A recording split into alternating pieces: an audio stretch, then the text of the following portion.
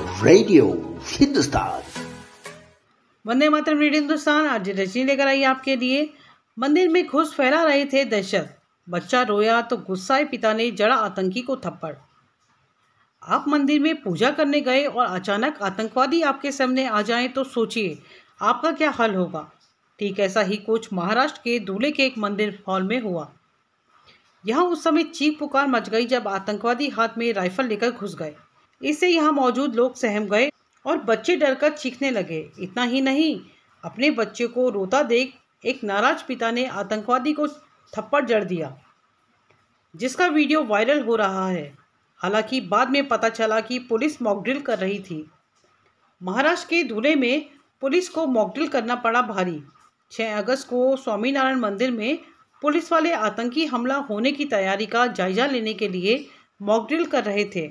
उस समय बड़ी संख्या में परिवार वाले अपने बच्चों के साथ मौजूद थे। डमी आतंकवादी मुँह पर कपड़ा बांधे और हाथ में राइफल लेकर घुस आए।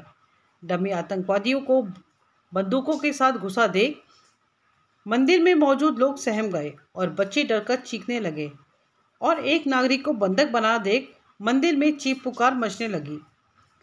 डर से बच्चे रोने लगे। इन सबके बीच एक बच्चे का नाराज़ पिता हाथ में बंदूक लिए डमी आतंकवादी को जोरदार थप्पड़ जड़ देता है। इसके बाद हंगामा शुरू हो गया। हंगामा बड़ा देख मौके पर मौजूद पुलिस वालों ने बीच बचाव किया। नाराज़ शख्स को पुलिस वाले समझाकर दूर ले गए। जब आदमी को बताया गया कि यह एक मॉकड्रिल थी, किसी भी आतंकवादी घटना के समय आम नागरिकों को बचाने के लिए अभ्यास किया गया था। इसके बाद उसका गुस्सा शांत हुआ।